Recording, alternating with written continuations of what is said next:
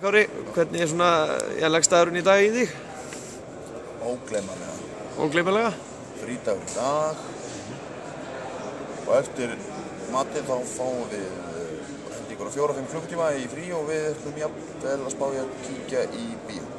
Kiki bíó? Og hvað mynd ætlar að fara á? Það er ekki komið ljós, Nei. kemur ljós, En uh, þú vilt uh, með ennska talsetningu eða? ekki hugmynd. Nei, bara að fara í bíó. Já, farið bara í bíó. Já. Og hvernig stendur því að þið fengu þá hugmynd? Það er bíó ennum hliðina. Og sjá hvort að það sé eitthvað flottar enn á Íslandi. Já, já, Já. Þú ert ekki neitt búinn að vera eitthvað út í sólinni að slaka á? Nei, ég líti í því og er, eh, ég hef einfallega ekki húðina í að þóla þessa sól. Nei.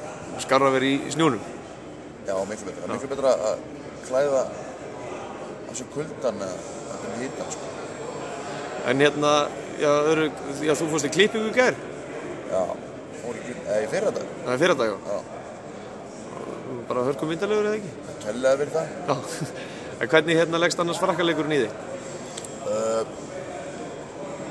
það er rosalega erfiður leikur maður, en uh, minna, ég skal segja að þetta leikinnir leggjast, það var lagst bara fínt í mig, sko, en við megum alls ekki mæta á felgunni í þennan leiki sem við erum búin að mæta þessu tóleiki í byrjun, sko.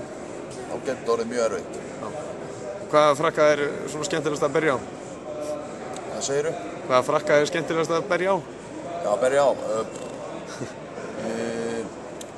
Með neitt sérstætt, sko. Þeir eru allir helviti grótaðir og, og, og eru alveg tilbúinir í, í, í, hérna, í barótana. En fyrir þá er þetta bara annar dagur á skrifstofunni. Þú færðu ekki bara lýsið fyrir frakkaleikin á? Jó, gerum það. Já, veistu það ekki? Já.